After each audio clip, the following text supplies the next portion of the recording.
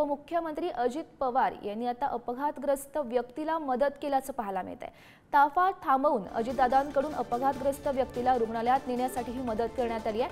पुण्यातील संचेती हॉस्पिटलच्या पुलाखाली दुचाकीस्वाराचा अपघात घडलेला होता आणि त्याला या तरुणाला अजित पवार यांनी आता मदत केल्याचं पाहायला मिळत आहे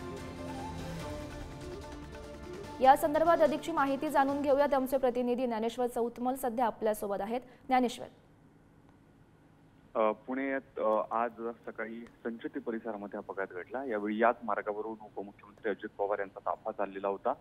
सर्किट हाऊसच्या दिशेनं जात असताना संचेती रुग्णालयाच्या जवळ एका रिक्षाचा आणि दुचाकी स्वराचा अपघात झाल्याचं पाहिल्यानंतर अजित पवार यांनी स्वतः आपला ताफा थांबवला आणि या अपघातग्रस्त व्यक्तीची मदत केलेली आहे. अजित पवारांनी स्वतःच्या ताफ्यातली जी अँब्युलन्स आहे त्या अँब्युलन्सच्या डॉक्टरांना आणि त्या अँब्युलन्सला त्या अपघातग्रस्त व्यक्तीला उपचार करण्याच्या सूचना दिलेल्या आहेत आणि पुढे नंतर अजित पवार आपल्या कामासाठी शासकीय विश्रामगृहाकडे रवाना झाल्याचं पाहायला मिळते पुण्यात सतत अशा अपघाताच्या घटना घडत असताना आज योगायोगानं जेव्हा अजित त्या मार्गावरून जात होता तिथे ही अपघात घटना घडल्यानंतर अजित पवारांनी अपघातग्रस्तांना आपल्या ताफ्यातल्या डॉक्टरांना मदत करण्याचं सांगितलं आणि पुढे अजित पवार आपल्या कामासाठी रवाना झाले.